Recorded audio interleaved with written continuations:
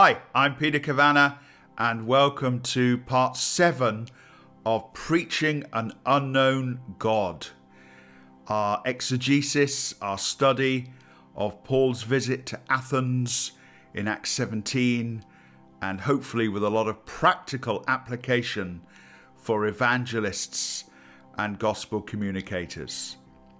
I want to use some words that I think sum up the evangelist's approach in Acts 17, Paul's trip to Athens, uh, starting with this word, the word pleasant. The evangelist was a pleasant presence in Athens. Uh, we saw that in the story. He was complimentary to them, he preached that they were God's offspring, God's children, he wasn't competitive to them and it should remind us of uh, of the ministry of Jesus. I'm thinking particularly of Luke 7 verse 34 where he's called the friend of sinners. If we're going to reach sinners, we're going to have to be the the friend of sinners. And that little piece in Luke 7 where Jesus is called the friend of tax collectors and sinners, that's in the context there of him being criticized. They criticize him for being the friend of sinners.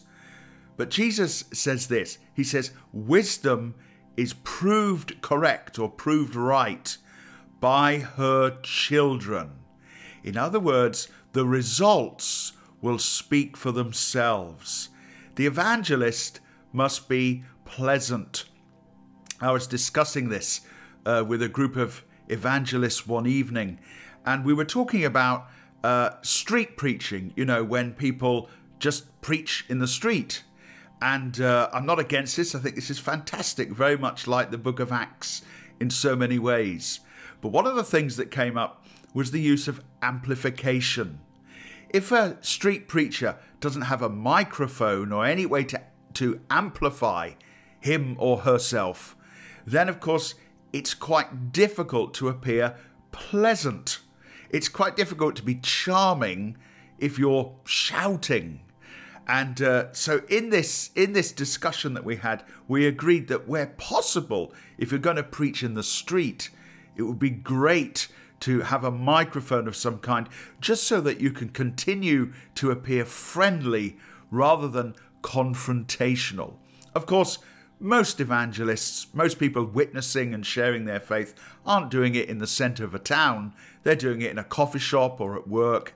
And uh, so let me just remind you you don't need a mic, but you will need to remain pleasant and charming throughout the whole experience. And I promise you, in the words of Jesus, wisdom will be proved rightly by her children. This will no doubt yield much better results.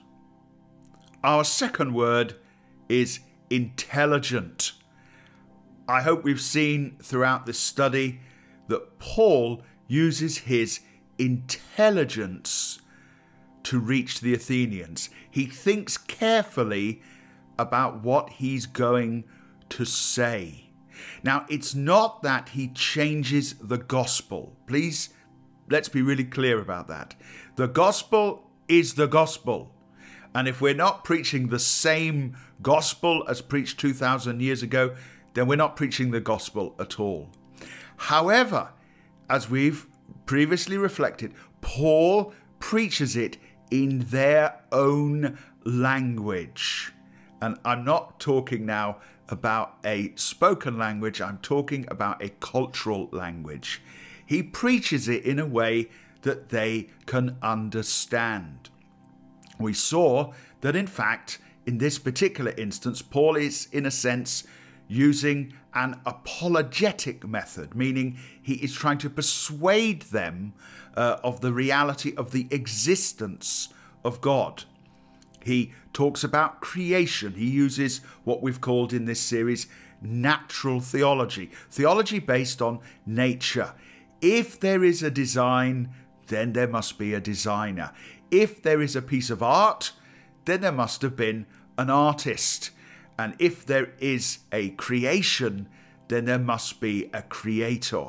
Now, this may not always be the best way to preach, but this is the way he preaches to a group of people whose ideas about God were very different to that of the Christian faith and indeed of Judaism. And so, being an evangelist requires being highly skilled, highly intelligent. Remember the lifeboat? We said that if we were stranded in the sea, we would want uh, uh, those coming to rescue us to be competent uh, as well as keen on saving us. So I'm all in favour of being charismatic, but we must also be competent. I remember Reinhard Bonnke, that tremendous evangelist, uh, used to say all the time, I'm just a simple evangelist.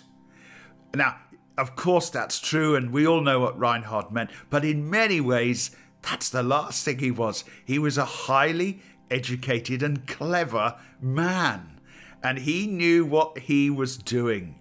And the same is true of Paul. We read many times in Acts that he would go into the synagogue and he would reason with those who were there, or, or he would have debates with them. So Paul wasn't just about monologues, Paul was about having dialogues with people. One of the things that we have to do if we're going to have dialogue is we're going to have to listen as well as speak. Let me remind you that over in Acts chapter 8, Philip the evangelist, in fact, the only evangelist named in the New Testament, so he's someone to study carefully, I think. Philip is led by the Spirit to go to the chariot of an Ethiopian. You remember the story. And the Ethiopian is reading from Isaiah, Isaiah 53, actually. Philip is able to win that man to Christ for two reasons. First of all, he listened to him. He first listened to him reading from the from the text from Isaiah, and then he listened to the man's questions. So the first thing he did was listen. The second thing he did was he answered the man's questions. An evangelist must be able to answer people's questions. Now, of course, there'll be plenty of times when we'll be caught, you know, and maybe we won't have an answer, but that just should inspire us to have a good answer next time we're faced with that same issue. My old friend Steve Parsons used to say that in a court case, there are lawyers and there are witnesses. I, I appreciate that for most people, you're called to be a witness. This is what I know. This is what I this is what I saw. But other people are called to be evangelists. They're called to be the lawyers. They're called to be people who can build a case. So, in a sense, there's no such thing as a simple evangelist. We must be intelligent uh, with our communication if we're going to reach people for the gospel. Don't let anyone tell you otherwise.